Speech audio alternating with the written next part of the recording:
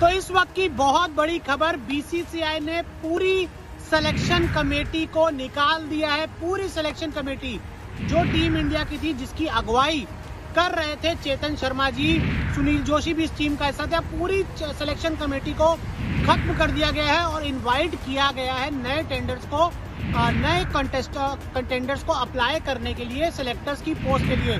T twenty world cup में team India का प्रदर्शन शर्मनाक रहा।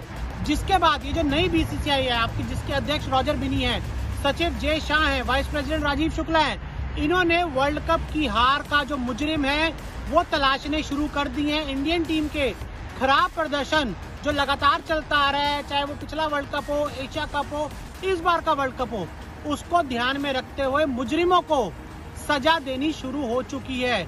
लेकिन इसी के साथ साथ एक सवाल ये उठता है कि क्या ये सेलेक्टर्स वहाँ पर जाकर मैच खेल रहे थे? खिलाड़ियों पर भी क्या गाज गिरेगी?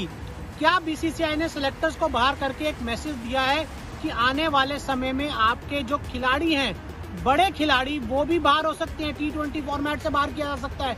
रोहित शर्मा के राहुल इन सब पर भी गाज गिर सकती है। तो एक बड़ा कदम बीसीसीआई ने उठाया अगर बात करें नौ बज चुके हैं भारतीय समय अनुसार मैं समय दुबई में तो यहाँ पे साढ़े सात बजे तो भारतीय समय अनुसार नौ बजे एक मेल आया और मेल में बम फोड़ते हुए बीसीसीआई ने सभी चयनकर्ताओं को थैंक यू कर दिया। और वैसे ये लग भी रहा था कि जब पिछली जो सिलेक्शन कमेटी हुई मीटिंग हुई, जिसमें चार टीमें चुनी गई, उसमें पूछा भी गया था चेतन जी से कि हाँ ये आपकी आखिरी मीटिंग है। तो उसमें उन्होंने कुछ नहीं कहा था, लेकिन हाँ मैसेजेस क्लियर थे। अगर इंडियन टीम जीतती तो एक्सटेंशन मिलता, नहीं जीती तो एक्सटेंशन नहीं मिला, सब कुछ खत्म।